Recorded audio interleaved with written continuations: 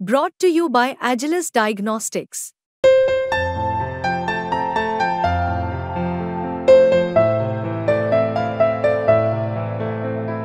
Agilus Diagnostics.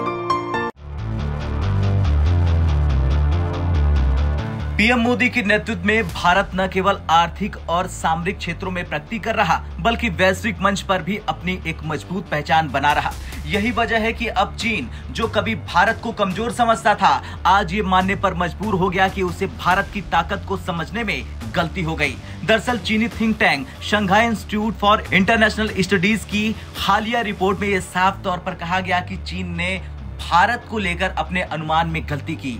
Report के अनुसार 2014 से 2024 के बीच भारत ने आर्थिक और सैन्य दोनों ही क्षेत्रों में ज़बरदस्त प्रगति की है। चीन को यह भ्रम था कि 2024 के चुनाव में पीएम मोदी की पार्टी की सीटें घटने से उनके फैसले करने की क्षमता पर असर पड़ेगा। लेकिन पीएम मोदी ने अपनी क्षमता से चीन के सभी भ्रमों को दूर कर दिया। 2014 से पहले चीन भारत के सैन्य इंफ्रास्ट्रक्चर को कमज़ोर मानता था। उसे लगता था कि भारत कभी भी चीन का मुकाबला नहीं कर पाएगा।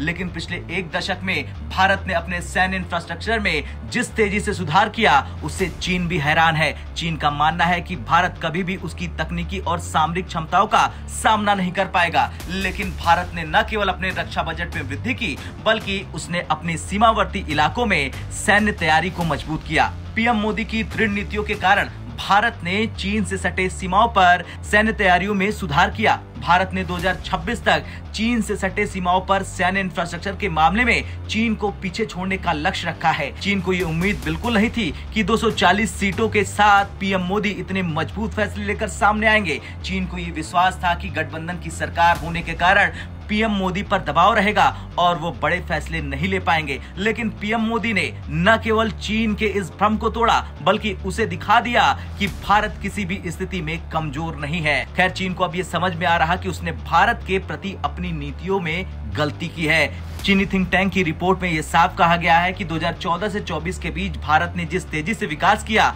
वो चीन के अनुमान से कहीं बेहतर है। चीन को अब यह एहसास हो चुका है कि उसे भारत के प्रति अपनी नीतियों में बदलाव करना होगा। आपका क्या कुछ कहना है? जिस तरह से चीन का बयान आया है, उसे लेकर कमेंट कर कर ज़रूर बताएँ। ब्यूरो रिपोर्ट, भारत तक।